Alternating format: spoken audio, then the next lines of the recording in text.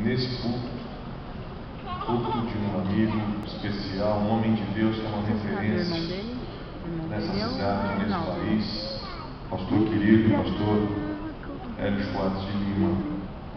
Obrigado pela honra, meu pastor, querido Castelano, obrigado pela honra de, nessa noite, poder usar esse púlpito tão abençoado, canal de Deus para a nossa cidade, canal de Deus para a zona leste da nossa cidade. Cumprimentar o pastor João Martins, cumprimentar o pastor Marcelo Longo, Márcio, pastor Cláudio, enfim, cada um de vocês. Coisa boa é poder compartilhar a palavra de Deus, ainda mais depois da gente ouvir a doce voz do Espírito através da vida da Dani.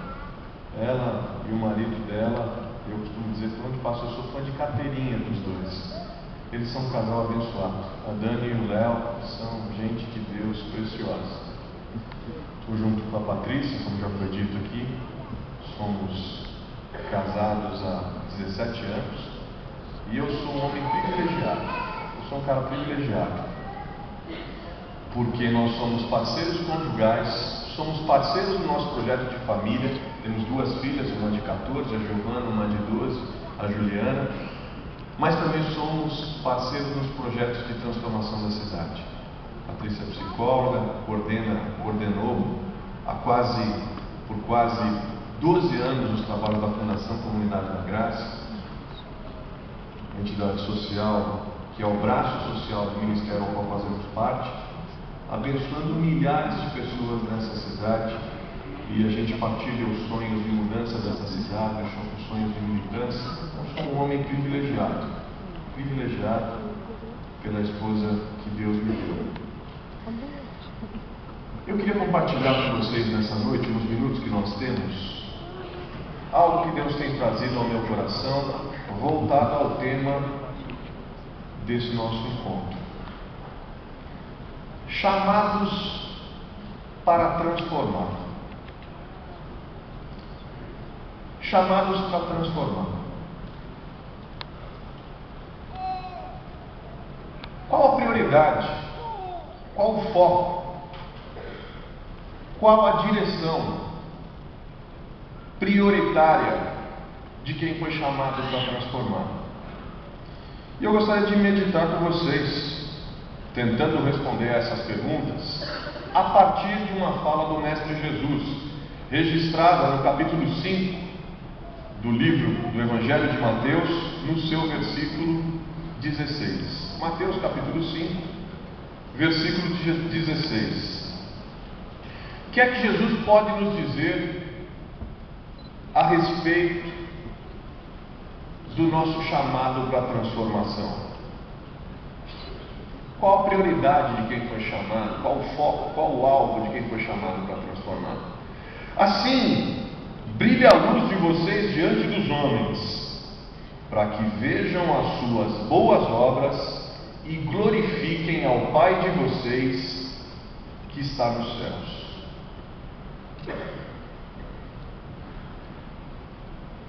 Eu fico aqui pensando a partir da afirmação de Jesus, pensando junto com vocês, que o foco prioritário daqueles que foram chamados para transformar é o mundo. Que o alvo da nossa missão, o alvo prioritário da nossa missão é o mundo. Interessante que Deus não nos pede para que nós saiamos do mundo, mas ao contrário, para que brilhemos no mundo, para que sejamos luz e sal no mundo. A preocupação de Jesus, especificamente aqui nesse texto, não é em apontar o céu, não é em nos levar ao céu. Pelo contrário, a preocupação e o alvo proposto, a preocupação é em como vivemos enquanto aqui nesse mundo estamos. Como é que a gente vive? De que forma a gente se porta? Como é que a gente caminha? Enfim, brilhe a luz de vocês diante dos homens. A proposta de Jesus é muito clara. Impactem o mundo. Brilhem no mundo. Brilhem diante dos homens. Amem o mundo. Amem o mundo. Se a gente foi chamado para transformar o mundo, nós fomos prioritariamente chamados para amarmos o mundo. Ame o mundo. Ame o mundo. Aí você vai me dizer, pastor, mas peraí, eu sempre aprendi a minha vida inteira que a gente não devia amar o mundo. Quando eu digo a vocês, amem o mundo, o que eu estou dizendo para vocês, não é amem a mundanidade, não é amem o pecado, ou enfim. O que eu estou dizendo é amem esse mundo. A partir da fala de Jesus, o que eu vejo é: esse mundo é o alvo prioritário da sua e da minha missão. Nós estamos aqui porque fomos chamados para transformar esse mundo. Abrace esse mundo com o seu coração. Sinta as dores desse mundo. Esse mundo que é alvo do amor do nosso Pai. O Evangelho de João diz que Deus amou o mundo de tal maneira, Deus amou tanto esse mundo que deu a esse mundo o que ele tinha de melhor, o seu Filho Jesus. Ame esse mundo. Abraça esse mundo, esse mundo que é, que é alvo do amor de Deus, esse mundo que insiste em querer viver distante de Deus, esse mundo, esse mesmo mundo que não reconheceu a Jesus como a manifestação clara do Filho de Deus, como a expressão humana, como a face humana de Deus. Ele está dizendo: ame esse mundo, esse mundo que não me reconheceu, esse mundo que me crucificou, esse mundo que me rejeitou. É esse mundo que deve ser alvo prioritário de vocês que foram chamados a transformar. Brilha a luz de vocês diante dos homens, para que eles vendo glorifiquem a Deus as pessoas veem a Deus refletido na vida da gente, de acordo com a maneira que a gente vive nesse mundo. Agora eu fico pensando o seguinte: mas como é que a gente impacta esse mundo? Como é que a gente subverte esse mundo, o mundo da cultura da morte? o mundo da lógica da morte, do egoísmo, do Como é que a gente subverte esse mundo? Como é que a gente muda esse mundo? Como é que a gente transforma esse mundo que deve ser o alvo do nosso amor? Vivendo de uma maneira, é o que Jesus está dizendo, olha, brilhem para que as pessoas vejam. Vivam de uma maneira que as pessoas vejam Deus em vocês. Vejam Deus refletido em vocês. Mas como? Você está me perguntando, mas como? Como é que a gente reflete Deus? E como é que a gente reflete Deus de uma forma que a gente transforma o mundo? Que a gente subverte o mundo? Que a gente sabota a lógica desse mundo. Para mim, é sendo gente de pelo menos duas maneiras, como que eu vejo aqui nesse texto. Primeiro é sendo gente de boas obras. Sendo gente de boas obras. Boas obras, gente, falam do nosso estilo de vida falam sobre o jeito que a gente vive, falam do nosso jeito de viver. Boa, boa obra fala disso. E aí, eu quero dizer para vocês que se o jeito que a gente vive não incomoda, se o seu bom exemplo não incomoda, se a sua sensibilidade, generosidade, se o seu interesse por aqueles, porque ninguém mais tem interesse nesse mundo, não incomoda, tem alguma coisa errada. Tem alguma coisa errada aí. Porque gente de boas obras incomoda no bom sentido. Incomoda. Eu não estou dizendo daquele crente chato, porque tem de crente chato, a pessoa entende, ah, então vai ser crente chato. Tem aquele crente chato que fica o tempo inteiro incomodando os outros, respondendo pergunta que não foi feita, ou julgando os outros o tempo todo, criticando, pondo o dedo na cara, acusando. É disso que eu estou dizendo. Eu estou dizendo é que gente de boas obras incomoda pelo seu jeito de ser, incomoda pelo seu amor, incomoda pela sua presença, incomoda pela sua generosidade, incomoda, incomoda. O que, que é boa obra? Boa obra é viver de uma forma que a gente reflita a Cristo. Boa obra, ser gente de boas obras, é ser gente que vive de um jeito que a vida reflete Cristo. Não tem como olhar e não ver Cristo ali. Aliás, quando as pessoas olham, brilha tanto que as pessoas nem enxergam mais a gente, porque elas só conseguem enxergar Cristo em nós. Mas o que é, bom, o que é boa obra? Ser tolerante. Vou dar uns exemplos aqui para a gente pensar. Ser tolerante. Boa obra. Tratar bem o pai e a mãe.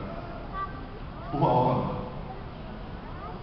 Não ser respondão, não ser mal, chato, boa obra. Ter paciência com os filhos, boa obra. Ser generoso, boa obra. Ser voluntário.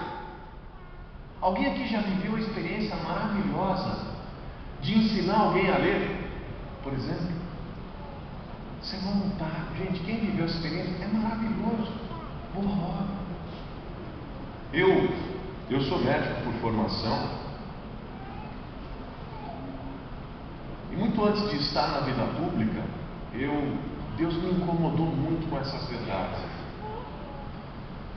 E eu pensava, Deus, como é que eu posso usar os dons e os talentos que o Senhor tem me dado? Como é que eu uso isso de um para que eu viva de uma maneira que eu demonstre o quanto eu amo o Senhor. E eu não consigo entender outra maneira de a gente demonstrar o tanto que a gente ama o Senhor que não seja amando o próximo. Porque com que autoridade vocês vão dizer que amam a Deus a quem não veem, se não amam ao próximo a quem vocês veem? E eu desde sempre me envolvi com trabalhos voluntários, atendendo a minha comunidade, atendendo as pessoas fora da comunidade, buscando soluções no bairro, enfim. Ser voluntário? Boa obra. Evangelizar? Boa obra. Reciclar? Boa obra. Parar de usar sacolinha plástica? Boa obra. Viu a sacolinha do Congresso? Viu o estímulo? Um estímulo para você levar outra sacola, deixar de consumir tanta sacolinha plástica, que segundo o Greenpeace, estudos do Greenpeace mostram que assim, é a nova praga urbana. É a nova praga urbana, é a sacolinha plástica. Demora mais de 100 anos para ser, para ser, para se desfazer entope bueiro, pode ser criador de mosquito da dengue, polui, polui os rios, enfim, boa obra. Ouviu uma boa música, hoje a gente ouviu boa, boníssima música, boa obra.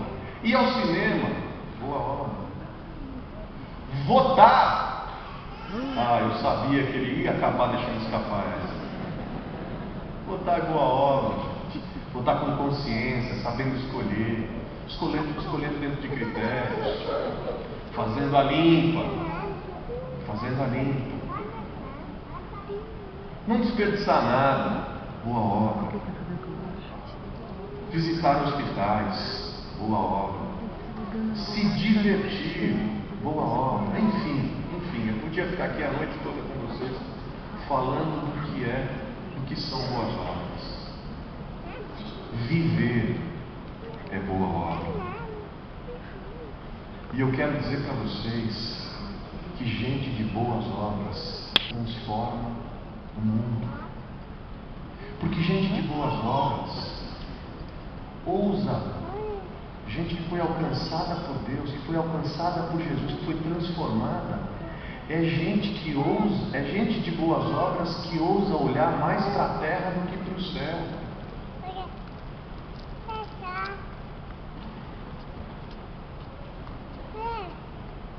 Lembra da conversa de Jesus com o religioso?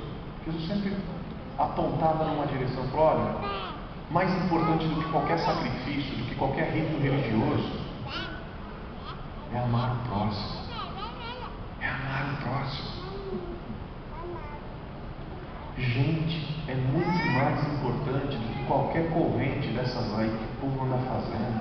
É corrente atrás de corrente corrente para isso, corrente para aquilo, corrente para prosperidade, corrente para não sei o que mais.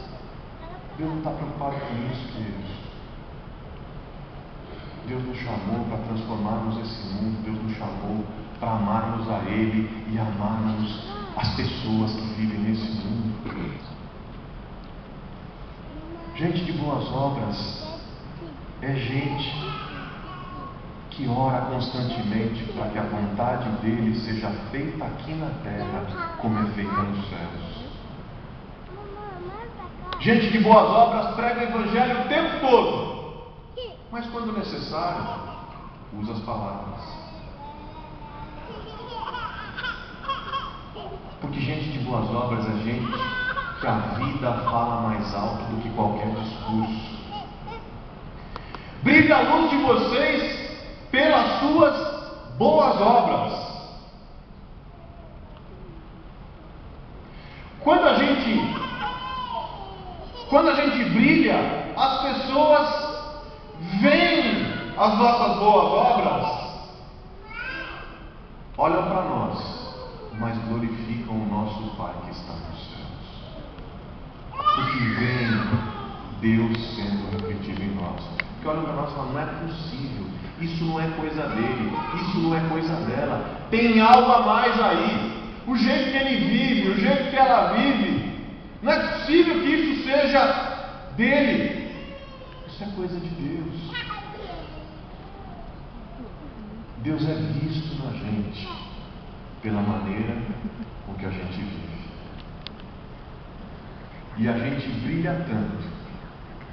Gente de boas obras brilha tanto que as pessoas não enxergam mais a gente,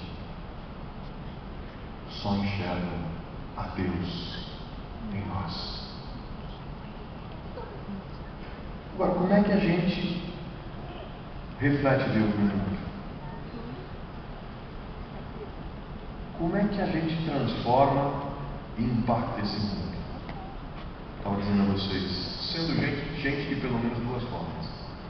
Sendo gente de boas obras e sendo gente de um outro jeito. Porque se você virar uma página atrás, no capítulo 5 do Evangelho de Mateus, você vai encontrar Jesus apontando outro caminho para aqueles de como devem viver aqueles que foram chamados transformar, chamados a transformar o mundo. Ele aponta o caminho da forma de viver, ele deixa claro que a forma com a qual vocês vivem vai mostrar a Deus para esse mundo e vai transformar esse mundo, e ele vai além.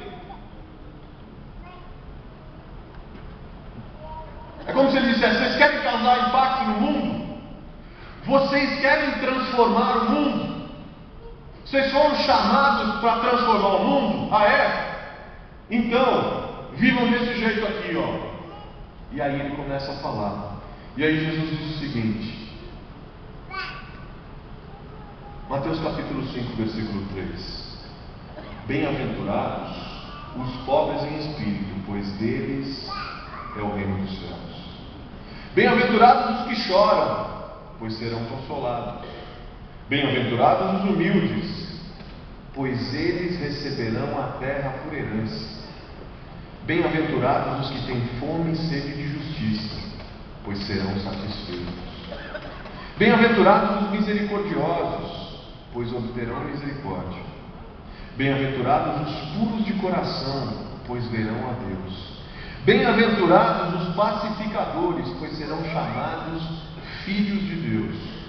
Bem-aventurados os perseguidos por causa da justiça, pois deles é o reino dos céus. Vocês querem ser? Vocês querem ver esse mundo transformado? Vocês foram chamados para transformar o mundo? Então, a gente foi chamado para transformar o mundo. Então é desse jeito que a gente tem que viver. Gente que transforma o mundo é gente de boas obras. Mas gente que transforma o mundo é gente bem-aventurada. É gente bem-aventurada. Às vezes eu tenho a sensação que a maior preocupação dos cristãos hoje em dia é com testemunho. E quando eu falo de testemunho, eu falo de que alguém, a sensação que eu tenho é que às vezes alguém tem que ter uma história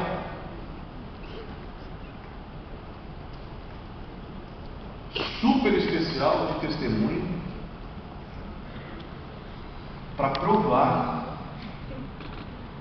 que foi transformada por Deus, enfim. Eu diria que tem até profissional do testemunho. Vocês disso. Tem até gente ganhando recursos para dar o seu testemunho profissional aqui, lá, em todo canto dessa cidade, desse país. É engraçado que isso, eu, eu, eu vou, falar, vou falar, é de uma experiência muito pessoal, não quero que ninguém parta do princípio de que a partir de uma experiência pessoal a gente faz alguma, alguma grande elaboração teológica. Mas eu sou, eu sou filho de pastor, neto de pastor. Pastor. E eu me lembro, quando eu tinha a idade da maioria de vocês aqui, Ixi, o cara, sinal que o cara está ficando velho para participar. Pô, eu lembro quando eu tinha. Mas eu me lembro que eu, lá no banco da igreja, eu me converti aos 11 anos de idade. Converti aos 11 anos de idade, quando eu entreguei minha vida ao Senhor, fui transformado. E naquela mesma noite em que me converti também entreguei a minha vida no sentido de consagrá-la ao ministério do Senhor. Incrível que aos 11 anos de idade eu pedi a Deus, falei, Deus, eu queria muito ser um médico, porque naquela noite pregou lá na igreja um grupo de médicos, missionários, e foi quando, aos meus 11 anos, entreguei minha vida a Jesus. E eu falei, eu entreguei minha vida a Cristo e falei naquela noite, eu gostaria muito de ser um médico como esse daí, que pudesse servir as pessoas, anunciar o Evangelho, expressar a vida de Deus através do seu trabalho. Vocês sabem que oração é um negócio perigosíssimo, né, gente? Deus responde. Oração de criança, então. E assim foi a minha vida. Mas eu me lembro, no período que eu me converti, eu tinha uns sentimentos comigo.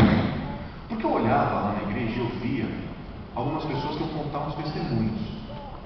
E eu lá e contava testemunho. E aí contava um testemunho assim, um, me lembro, um era. Eu não estou aqui desqualificando o testemunho de ninguém, não é isso, eu só estou usando como exemplo.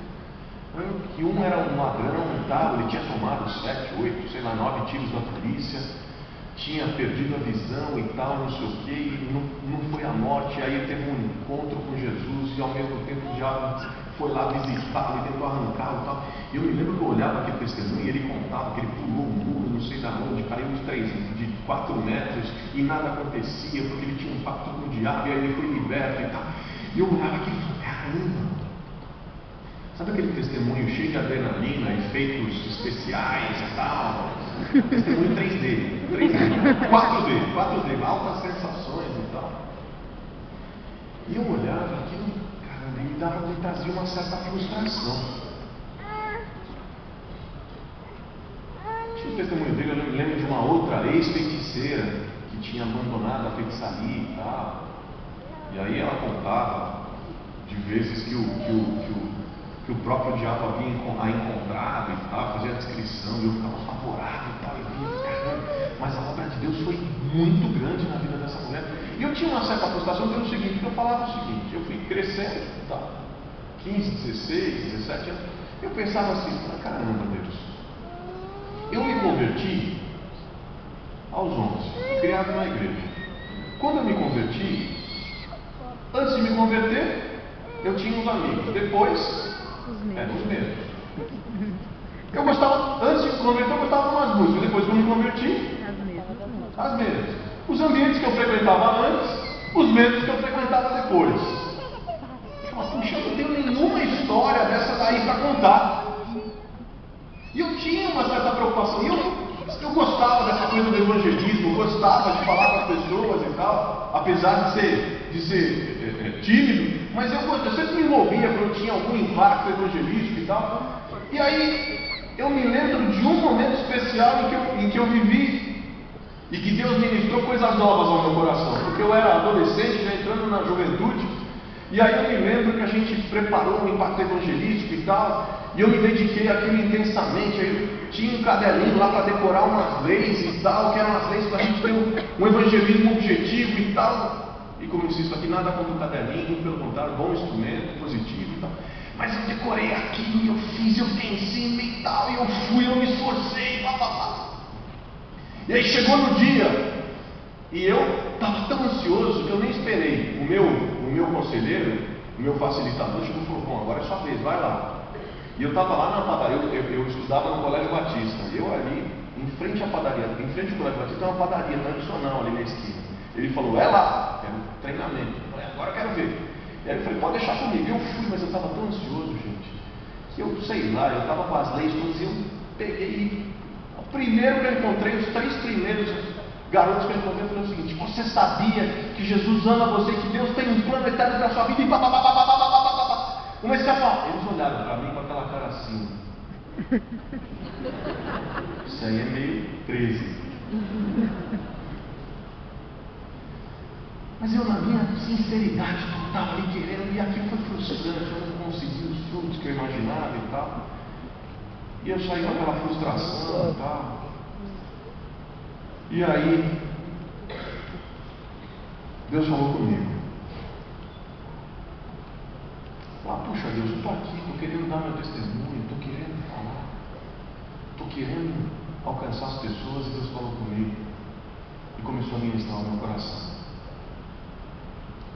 E ele ministrou ao meu coração. Ele falou comigo, mas quem é que te disse que eu te chamei para você dar testemunho? Como assim? Quem é que te falou que eu te chamei para dar testemunho?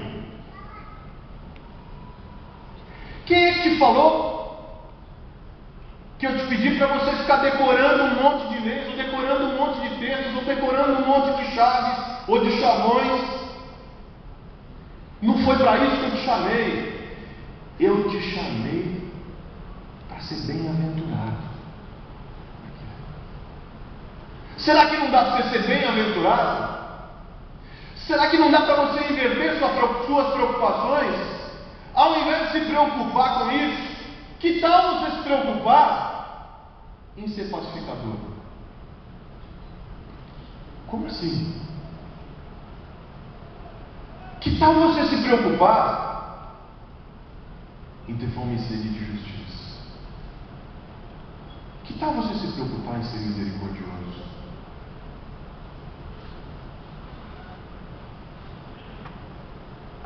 E Deus ministrando no meu coração. E algumas coisas foram se clareando diante de mim. De que adianta você saber todas as leis espirituais, as quatro, as cinco, as vinte e uma irrefutáveis, as de que adianta você saber o Salmo 119 decor? De que adianta você decorar capítulos inteiros da Bíblia e ser indiferente às dores das pessoas e ser indiferente às dores do mundo? Será que você não sabe ser pacificador? Misericordioso, generoso, compassivo? Será que você pode lutar pela justiça? Ser bem-aventurado é chorar.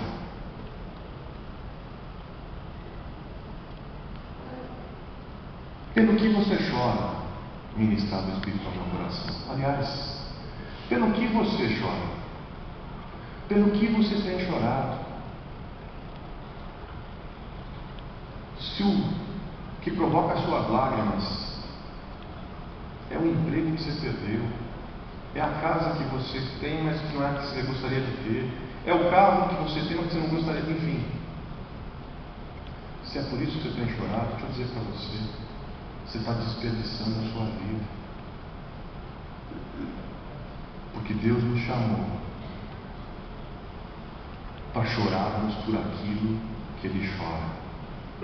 E pelo que ele chora? Você já parou para pensar? Pelo que, o que faz com que Deus chora? Deus chora, queridos, pelos campos que estão brancos, prontos para a colheita, e porque há tão poucos ceifeiros. Deus chora pela violência sexual contra crianças e adolescentes. A gente vive num país onde uma criança é abusada sexualmente a cada oito minutos.